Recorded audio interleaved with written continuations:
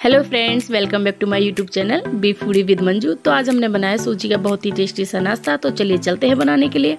तो सूजी का नाश्ता बनाने के लिए हमने उबले हुए आलू लिए, इनको मैश करके इनका अच्छे से मिक्सचर बना लेंगे।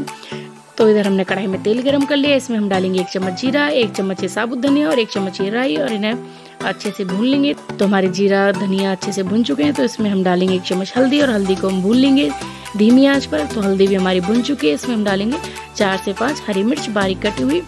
और इन्हें भी थोड़ी देर के लिए पका लेंगे। तो मिर्ची भी हमारी पक चुकी है। इसमें हम डालेंगे अपने उबले हुए आलू। और आलू को अच्छे से मिला लेंगे। अब हम इसमें डाल लेते हैं अपने मसाले। तो हम इसमें डालेंगे एक चम्मच नमक स्वाद अनुसार, एक चम्मच धनिया पाउडर, एक चम्मच गरम मसाला, एक चम्मच लाल मिर्च पाउडर और एक चम्मच काली मिर्च और ऊपर से थोड़ी सी कसूरी मेथी और एक चम्मच चाट मसाला। और एक चम्मच ये किचन किंग मसाला और अपने मसाले को अच्छे से मिक्स कर लेंगे। और धीमी आँच पर थोड़ी देर के लिए पका लेंगे अपने आलू को भी। तो हमारे आलू का मिक्सचर बनकर तैयार है। देखने में भी बहुत अच्छा लग रहा। है अब हम इसमें डाल लेते हैं। थोड़ा सा बारीक कटा हुआ हरा धनिया। और धनियों को भी हम इसमें अच्छे से मिक्स कर लेंगे। तो ये हमारा आलू का मिक्सचर बनकर तैयार है। इसे हम ठंडा होने के लिए रख देंगे। अब चलते हैं हम इडली सैंडविच बनाने के लिए। तो इधर हमने इडली का बैटर बना के रखा हुआ था। इसको हमने बना के एक घंटे के लिए रेस्ट पर छोड़ दिया था। अगर आपको इडली का बैटर बनाना है तो आप इडली की रेसिपी हमारे यूट्यूब चैनल पर भी जाकर देख सकते हो। तो हमारा बैटर बिल्कुल तैयार है इडली के लिए और इधर हमारा आलू का मिक्सचर भी ठंडा हो चुका है। अब चलते हैं अपने इडली सैंडविच बनाने के लिए। तो ये हमने इडली प्लेट लिए इसमें हम थोड़ा सा तेल लगा लेंगे और एक एक चम्मच करके अपना बैटर डाल लेंगे। हमें बैटर अभी ज़्यादा नहीं डालना बैटर अभी हम थोड़ा थोड़ा डालेंगे।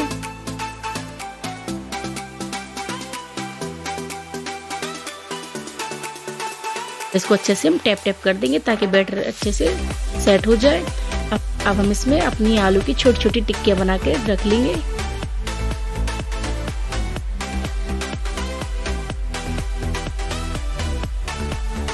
तो हमने अपनी आलू की छोटी छोटी टिक्कियाँ बनाकर रख ली हैं, अब हम इसके ऊपर फिर से बैटर डाल लेंगे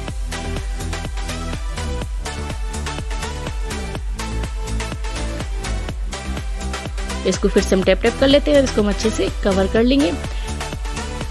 तो ये हमने अपने आलू की टिक्कियों को अच्छे से कवर कर लिया। अब चलते हैं स्टीम करने के लिए।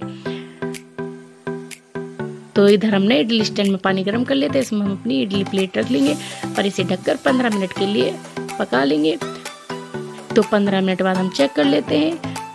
तो हम चाकू से अपनी इडली चेक कर लेते हैं। तो ये देखिए हमारा चाकू बिल्कुल क्लीन निकला है। तो इसका मतलब हमारे इडली सैंडविच बनकर तैयार है तो ये हम अपने प्लेट को बाहर निकाल लेंगे इसी तरह से हम अपनी दूसरी प्लेट की इडली भी चेक कर लेंगे। तो ये वाले भी इडली सैंडविच हमारे बनकर तैयार है, इन्हें भी हम बाहर निकाल लेंगे और थोड़ी देर के लिए ठंडा होने के लिए रख देंगे।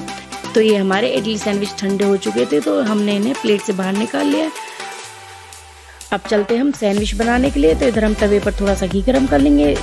तो इस पर हम डालेंगे थोड़े से सफ़ेद तेल, थोड़ी सी राई और थोड़ी सी कश्मीरी लाल मिर्च और इन्हें पूरे तवे पर हम अच्छे से फैला लेंगे। और इसमें हम एक एक करके अपनी इडली रख लेंगे और इन्हें अलट पलट कर क्रिस्पी होने तक सेक लेंगे।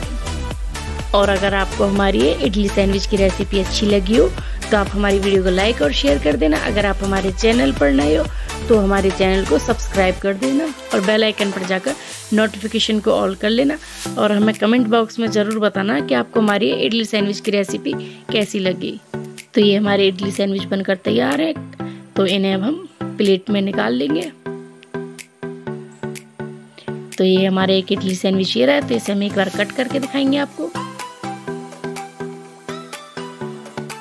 तो ये देखिए, हमारा इडली सैंडविच बनकर तैयार है। देखने में भी काफ़ी अच्छा लग रहा है। आप इसे केचप के साथ भी खा सकते हैं, सांभर के साथ भी खा सकते हैं, दोनों के साथ बहुत ही अच्छा लगता है। तो आप भी एक बार इस तरीके से इडली सैंडविच बनाएँ और इन्जॉय करें। अब मिलेंगे हम आपसे अपनी अगली रेसिपी के साथ। जब तक के लिए बाय बाय